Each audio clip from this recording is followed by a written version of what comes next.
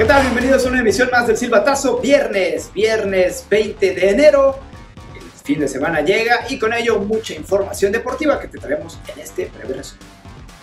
Comenzamos con el escándalo de Dani Alves y es que este viernes fue ya detenido por autoridades en España por, su, eh, por un presunto abuso sexual que sucedió durante el periodo vacacional, todavía eh, a finales de 2022 pero le fue dictada prisión preventiva en lo que se investiga este caso y dejó en duda pues qué sucederá con su contrato en los Pumas. Tanto la Liga MX como los Pumas dijeron que pues van a esperar la resolución de las autoridades, es un tema delicado y que posteriormente se dará una postura. En caso de que Dani Alves no pueda regresar al fútbol mexicano, sería otro problema legal porque el jugador brasileño tiene contrato con el equipo mexicano y de no cumplirlo podrían interponer una demanda.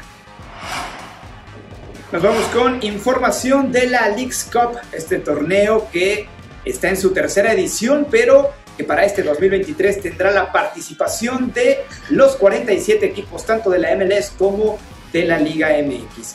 Dos equipos ya avanzaron a la siguiente ronda por ser los campeones, el AFC en Estados Unidos y el equipo de Pachuca. El resto de los 45 equipos serán divididos en grupos de tres, donde el que haga más puntos avanzará a la siguiente ronda. Ya se conoce el grupo de los Bravos de Juárez, estará con el equipo de Austin, el equipo de Texas y el equipo de Mazatlán FC de la Liga MX, el resto de los equipos distribuidos en los otros 14 grupos de esta League's Cup.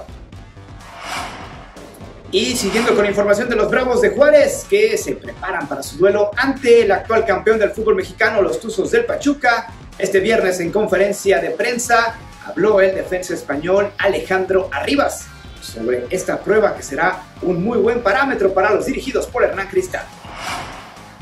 Eh, bueno, la primera pregunta, este, yo me centro en mi trabajo, como siempre. El torneo pasado creo que estuve a un muy buen nivel, lo que jugué.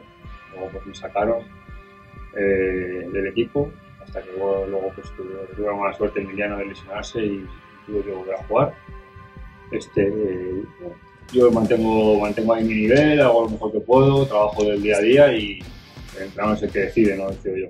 Yo hago mi trabajo como he hecho siempre y lo mejor que, que sé y lo mejor que puedo.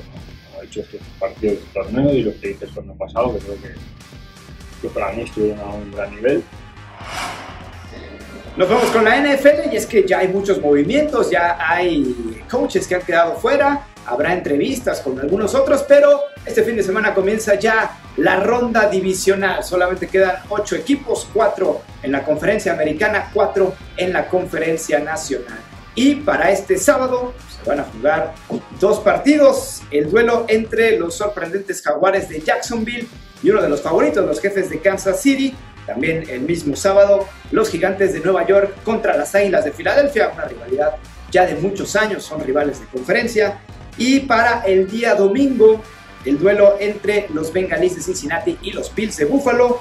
Además, cierra esta ronda el equipo de los Vaqueros de Dallas contra los 49 de San Francisco.